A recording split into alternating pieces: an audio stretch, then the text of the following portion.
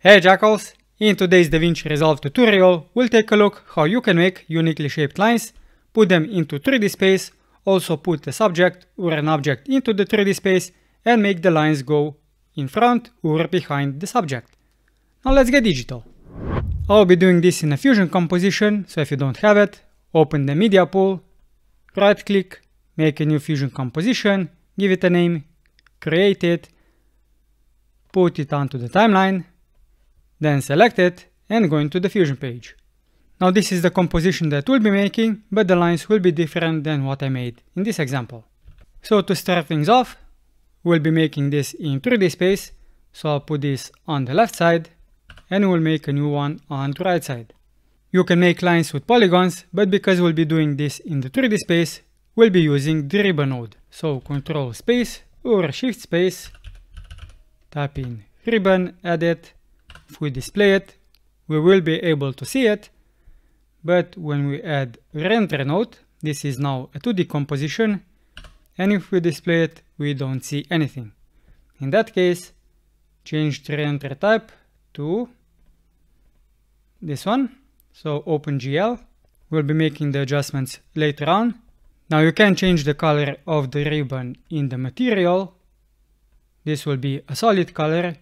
We want this to be gradient, so we'll add a background node and connect it. Select this as a gradient. Add two pluses. The first one and the last one will be black. So let's make those black. Make this one white.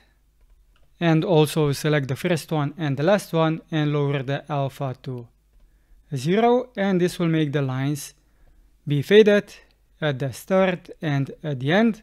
And to make this visible, I'll make the lines thicker and we can also adjust the width and the number of the lines.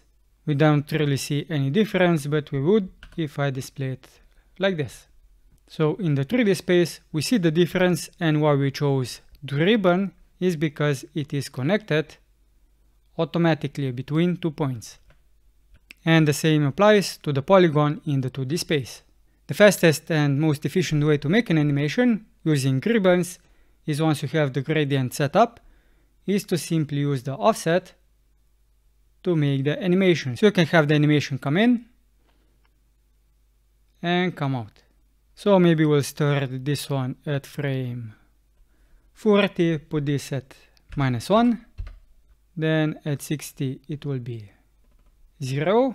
Maybe we want this animation to hang a little bit, so 66 will also be 0, and then at maybe 86 this will be 1. So now the animation so I didn't keyframe this, so this one will be 0 at 60 and minus 1 at 40. Now this is how the animation looks like. It's a basic one, but now we want to change the ribbon to be just straight lines into unique lines. And we will achieve that by using these nodes. So we need a displace and a bender, but first we'll just use a displace. So let's use a displace node, displace 3D, nothing changes and that is because the displace node actually needs a colored input and that is why we use a background. So let's add a background. Let me just first display it. So nothing changes and if I connect the background with the black and white gradient we get this. And if you move the black or the white you can see what happens. So we have sharp edges, and that is where the blur node comes in. So if we add a blur node and adjust the blur size, we'll be getting a smooth curve. We still don't have this smooth, and that is because we don't have enough subdivisions. We only have 10. So if we increase this number, you can see that this is now pretty much smooth. So if I display it from the top down, you can see what this actually looks like. So I'll use the subdivisions as 100, but you can increase this number if you need to. So this is now just black and white, so what you can do is simply go crazy, add a bunch of points and change the color. to anything that you want. So it's a little bit different than it was, but this is still not the effect that you want. As you can see, this is a lot different than just this a little bit curved line. And to get really unique looking lines, we use the Bender node. So in that case, control space to open the Bender, to open the select tools and use the Bender node, display it, and you have a lot of options. In this case, maybe I'll adjust the twist. It looks okay, but I don't want to use it on the y-axis. Let's see what I get on the x and z-axis. Maybe the z-axis is what I want. So it looks something like this. You can also add another Bender node. And let's see, this time we want to maybe also use the y-axis or the x-axis, depending on what you want.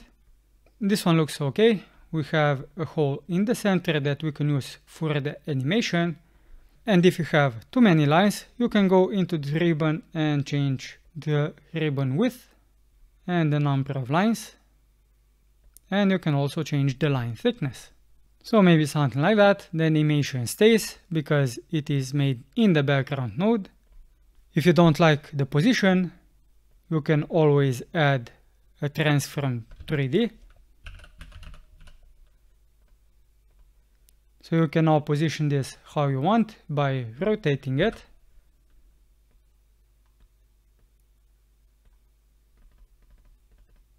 But I'll just leave it to default because I got the shape that I want with the hole in the center.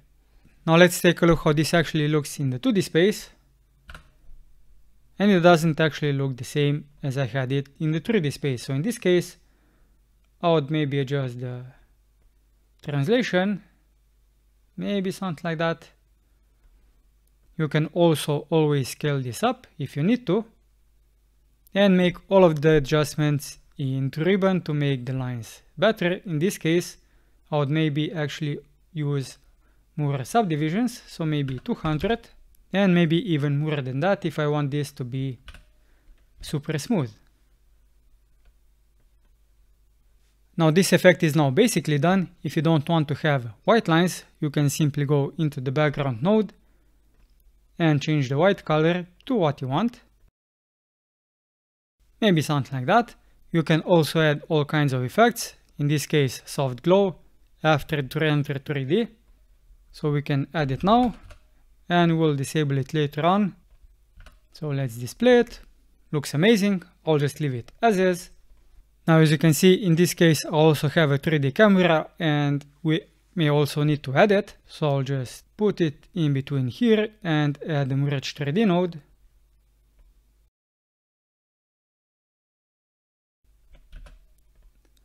Then select the camera, put this all the way back. And let's see what we see now.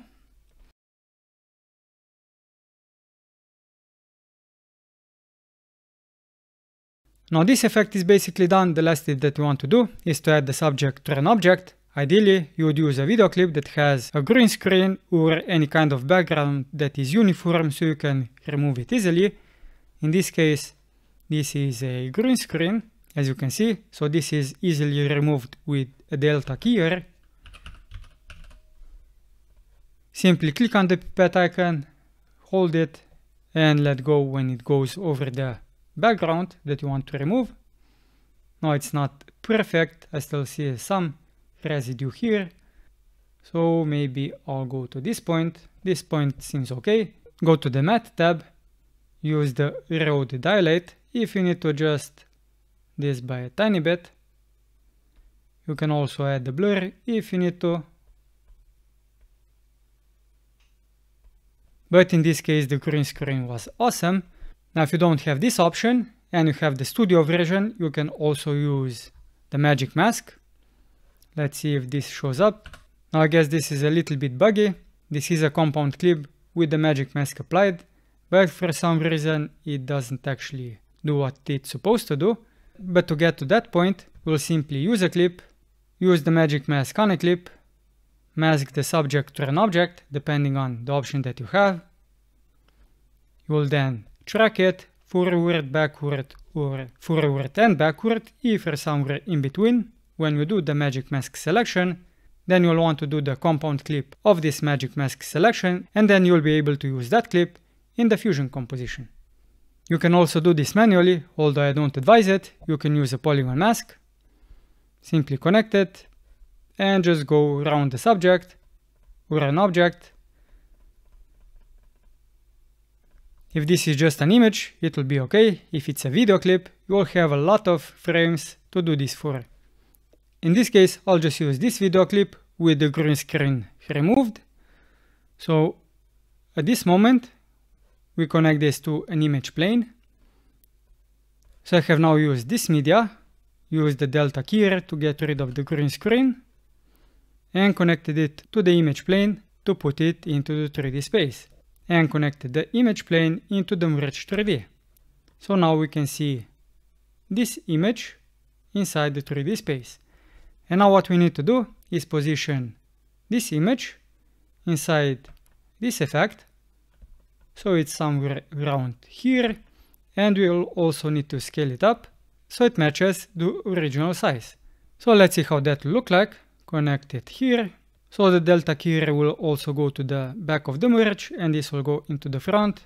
If I now display this, you can see that we have two images. The small one is the image plane and we need to scale it up so it matches the original size of the media in 2. So with the image plane selected, we'll simply adjust the scale. And in this case, I have to position the X and Y in the translation. And to match this perfectly, or as best as we can, go to the merge node and in the apply mode, you could use the blend, which doesn't help as much as, let's see, maybe difference. So with difference, if you have everything overlapping just perfect, this will be totally black. So something like this, I think this is fine. Let's go back into the 3D space.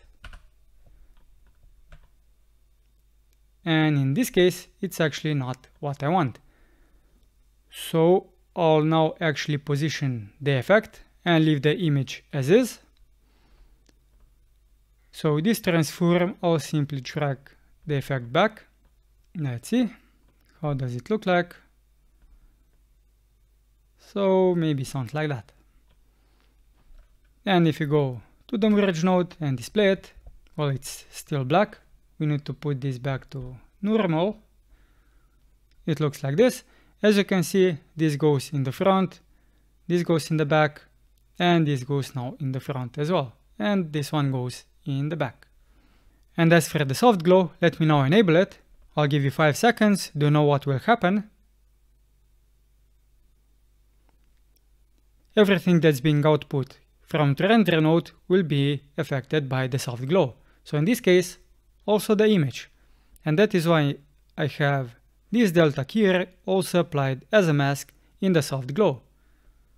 So if I do that, I didn't get the result that I wanted, it got rid of the soft glow here. So with the soft glow selected, go to the settings and simply apply the mask as inverted.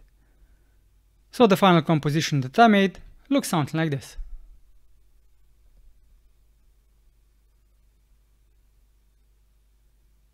Now obviously you would need to adjust the soft glow settings so you don't get the halo-like effect unless you wanted to, but I hope you get the idea. Now if you found this video helpful, give it a thumbs up, subscribe to my channel if you want to see more DaVinci Resolve and video editing content, and hit the bell notification icon so you know when my next video comes out. I'm Simon, and until next time Jackals, keep it digital.